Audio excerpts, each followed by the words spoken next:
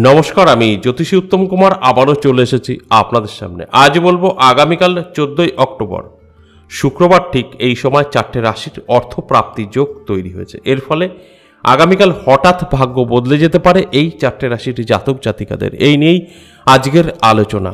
প্রত্যেক দিন আপনাদের যে কথাটা বলি, আজও সেই একই কথা বলব এবং অনুরোধ করব, সম্পূর্ণ আলোচনাটা শুনুন, ভালোভাবে বুঝুন, তারপর আপনার জীবনে অ্যাপ্লাই করুন। কেন বললাম? প্রত্যেকটা দিনই এই কথাটা বলি, তার কারণ একটাই। এখনও পর্যন্ত আপনারা অনেকের মধ্যে এই ধারণাটা আছে যে আমার রাশি আছে মানেই আমার সাথে মিলবে। আর ভিডিও থেকে বেরিয়ে গিয়ে মোটা অঙ্কের টিকিট কেটে বসছেন, লটারি সেখান থেকে কোটিপতি হবেন বলে। সেখানে আপনাদের মনের ইচ্ছা কিন্তু পূরণ হচ্ছে না, তখন একটা ভুল ধারণা আপনাদের মধ্যে তৈরি হচ্ছে। কিন্তু কখনো ভালোভাবে ভেবে দেখেছেন কি যে ভিডিওটা কি সম্পূর্ণ দেখেছেন? সম্পূর্ণ আলোচনাটা কি শুনেছেন? শোনেননি। যদি শুনতে পারতেন, তাহলে এই ভুলটা করতেন না, আপনার ওই ক্ষতিটা হতো না। সেই কারণেই আমি প্রত্যেকটা দিন এই সেম কথাগুলো বলি যে আগে বুঝুন, আপনার রাশি থাকলেই আপনার সাথে মিলবে না। আর যদিও বা আপনার সাথে মেলে, সেটা আপনার দায়িত্ব আগে থেকে মিলিয়ে নেওয়া। ভিডিওটা শুনছেন, সঙ্গে সঙ্গে আপনার সাথে মিলানোর চেষ্টা করুন। যদি মিলে যায়, তাহলে একটা কিছু রিস্ক নিতে পারেন।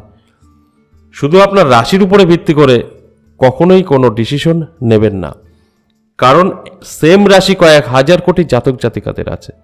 আপনার রাশির সাথে সাথে অনেক কিছু মেলানোর প্রয়োজন আছে। গ্রহ নক্ষত্র সঠিক থাকতে হবে, তবেই আপনার সাথে মিলবে। যদি গ্রহ নক্ষত্র সাপোর্ট না করে, আপনার রাশিতে কিচ্ছু হবে না। এই কথাটা আমি প্রত্যেকটা দিন বলি, বোঝানোর চেষ্টা করি। কিন্তু অনেকে বুঝতে পেরেছে, তাদের জীবন শুধরে ফেলেছে এবং সাকসেসে নিয়ে গেছে। আর এখনও পর্যন্ত ম্যাক্সিমাম বলব, তারা এখনও বোঝার চেষ্টা করছে না না বুঝেও বুঝছে না। যাই হোক না কেন, তাদের জীবনের খুব একটা পরিবর্তন আসেনি। আর সেই কারণে প্রত্যেক দিনের মতো আজ অনুরোধ করব, সম্পূর্ণ আলোচনাটা শুনুন, ভালোভাবে বুঝুন তারপর আপনার জীবনে অ্যাপ্লাই করুন। দেখুন, অর্থপ্রাপ্তির যোগ প্রত্যেকটা দিন আমি আলোচনা করি। প্রত্যেকটা দিন কোনো না কোনো রাশির অর্থপ্রাপ্তি যোগ তৈরি হয়। তার মানে এটা নয় যে অর্থপ্রাপ্তি যোগ তৈরি হওয়া মানেই আপনাকে লটারি কাটতে হবে। লটারির সঙ্গে অর্থপ্রাপ্তি যোগের কোনো সম্পর্ক নেই। কারণ অর্থপ্রাপ্তি যোগ যদি আপনার তৈরি হয়, তার সাথে সাথে আপনার জন্মচক বা হস্তরেখায় যদি রাহু, শুক্র, মঙ্গল, শুভ থাকে, প্রাপ্তি ঘটবেই। সেটা আপনার লটারি কাটার কোনো প্রয়োজন নেই। কোনো না কোনো দিক থেকে আপনার হাতে দশ টাকা এলেও আসবে। সেটা হয়তো হতে পারে আপনার পরিশ্রমের অর্থ, সেটা বহু আগের। আগামীকাল পরিশ্রম ছাড়া দশ টাকা হলেও আপনার হাতে আসবে, এক কোটি টাকা হলেও আসতে পারে। সেটাই হচ্ছে অর্থপ্রাপ্তি যোগ। আর এর সাথে কোনো রকম লটারির যোগসূত্র নেই। তাহলে আপনি বলতে পারেন, আমি লটারির সময় কেন বলি? আজও বলব, সেটা সকলের জন্য নয়। দেখুন, কিছু জাতক জাতিকাদের বধ অভ্যাস আছে। সেই লটারি কাটাটা হচ্ছে সেই বদ অভ্যাসের মধ্যে পড়ে। নেশা প্রত্যেকেরই আছে, কম বেশি। কারোর সিগারেট, বিড়ি, কারোর মদ, গাঁজা, কারোর লটারি কাটা, আরও বহু কিছু আছে। সেরকম যারা প্রতিনিয়ত লটারি কাটেন, যাদের নেশা কাটতেই হবে। আপনার কোনো প্রিয়জনও যদি বলে, লটারি কাটতে না, শুনবেন না। হয়তো সামনে বলবেন, না, কাটবো না, পিছনে কাটবেনি অর্থাৎ আপনার পকেট থেকে টাকা বেরোবেই। সেই কারণেই আমি এই সময়টা বলি। আমি জানি তারা কথা শুনবে না, লটারি কাটবেই যাদের নেশা। আমি বললেও শুনবে না। তাহলে টাইমটা মেনটেন করে কাটতে পারে। ভাগ্য বদলালেও বদলাতে পারে, যদি সব ঠিকঠাক থাকে, জানতে, অজান্তে। সেই কারণেই কিন্তু সময়টা বলা হয়। আর সকলের জন্য না, আমি এই কথাটা প্রত্যেকটা দিনই কিন্তু বলে দিই। যাদের নেশা আছে, প্রত্যেকটা দিন কাটবেই, কারোর কথা শুনবে না, তাদের জন্য সময়টা বলি।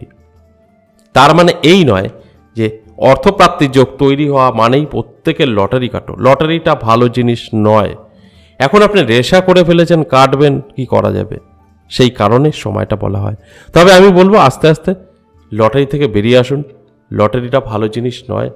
আর যতক্ষণ আপনারা বেরোতে না পারছেন, ততক্ষণ আমি প্রত্যেকটা দিন এরকম সময়গুলো বলব মেনটেন করে কাটার চেষ্টা করবেন। ভাগ্য বদলাতেও পারে যদি আপনার সব ঠিকঠাক থাকে।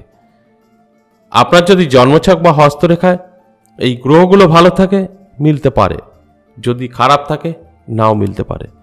আর একটা কথা, এই যে আমি আপনাদেরকে যে সময়টা বলব, লটারি কাটার, এই সময়টা আপনারা চেষ্টা করবেন মেনটেন করার। যদি সময়টা ঠিকঠাক মেনটেন না করতে পারেন, তাহলেও কোনো ব্যাপার নেই। আগামীকাল দিনটি আপনাদের জন্য তো শুভ, তাই যখন খুশি আপনারা কিন্তু কাটতে পারেন। তবে সময়টা মেনটেন করলে আপনাদের প্রাপ্তিযোগটা অনেকটাই বৃদ্ধি পায়। আর সেই কারণেই আমি সময়গুলো আপনাদের জন্য বলি। এবার একে একে এই চারটে রাশির কথা বলব। যে চারটে রাশির জাতক জাতিকাদের অর্থপ্রাপ্তির যোগ তৈরি হয়েছে আগামীকাল।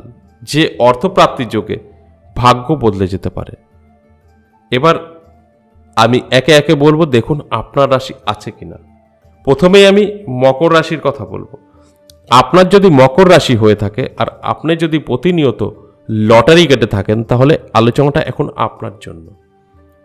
আগামীকাল তাহলে এই সময়টা মেনটেন করে একটি টিকিট কাটতে পারেন। সময়টা হলো আগামীকাল বিকেল চারটে থেকে সন্ধে ছটা। সময়টা শুভ, একটি টিকিট কাটতে পারেন। আপনার যদি সব ঠিকঠাক থাকে, অর্থাৎ জন্মছক হস্তরেখায় যদি রাহু, শুক্র, মঙ্গল ভালো থাকে তাহলে কিন্তু প্রাপ্তি হান্ড্রেড পারসেন্ট। কারণ আপনার গ্রহ নক্ষত্র যদি সঠিক থাকে, আপনার রাতারাতি ভাগ্য বদলে যেতে পারে। তাই আগে দেখে নিন আপনার জন্মছক বা হস্তরেখায় রাহু, শুক্র, মঙ্গলের অবস্থানটা কি আছে। দ্বিতীয় যে রাশির কথা বলব, সেটা হচ্ছে কুম্ভ রাশি। কুম্ভ রাশির ক্ষেত্রেও একই কথা বলব। আপনার প্রত্যেকটা দিন লটারি কাটা অভ্যাস আছে, তাহলে আলা- আলোচনাটা আপনার জন্য। আপনার আগামীকাল একটি লটারি কাটার সময়। বিকেল চারটে থেকে সন্ধে ছটা বারো মিনিট। এই টাইমটা একটি টিকিট কাটতে পারেন। যদি সব ঠিকঠাক থাকে, অর্থাৎ আপনার জন্মচক হস্তরেখা, এগুলোতে যদি আপনার রাহু, শুক্র, মঙ্গল ভালো থাকে বা শুভ থাকে, প্রাপ্তি কিন্তু করতে পারে। কারণ এই সময়টা মেনটেন করে যদি কাটতে পারেন, আপনার প্রাপ্তিগুণ প্রচুর বৃদ্ধি পায়। তার সাথে সাথে গ্রহদের সুপ্রভাব, একত্রে কিন্তু ভাগ্য বদলাতেও পারে। এর পরে যে রাশির কথা বলব, সেটা হচ্ছে মিথুন রাশি। মিথুন রাশির জাতক জাতিকাদেরও কিন্তু আমি একই কথা বলব। যারা লটারি প্রতিনিয়ত কাটেন, যাদের নেশা, তাদের জন্যই আলোচনা। সকলের জন্য নয়। আপনার মিথুন রাশি, আপনি প্রত্যেকটা দিন লটারি কাটেন, তাহলে আলোচনাটা আপনার। আপনারও কিন্তু আগামীকাল একটি ভালো সময় আছে টিকিট কাটার। আপনার জন্য শুভ সময় বিকেল চারটে থেকে সন্ধ্যে সাতটা। এই সময়টা ভীষণ শুভ। আমি আবারও বলছি, যারা প্রতিনিয়ত লটারি কাটেন, তাদের জন্য এই সময়টা। তাহলে এই সময়টা মেনটেন করে একটি টিকিট কাটতে পারেন। তার সাথে সাথে আপনার জন্মছক বা হস্তরেখায় যদি রাহু, শুক্র, মঙ্গল শুভ থাকে, প্রাপ্তি কিন্তু হান্ড্রেড পারসেন্ট আগে দেখে নেবেন, মিলিয়ে নেবেন তারপর একটা রিস্ক নিতে পারেন। এর পরে যে রাশির কথা বলব এবং শেষ রাশি, সেটা হচ্ছে মেষ রাশি।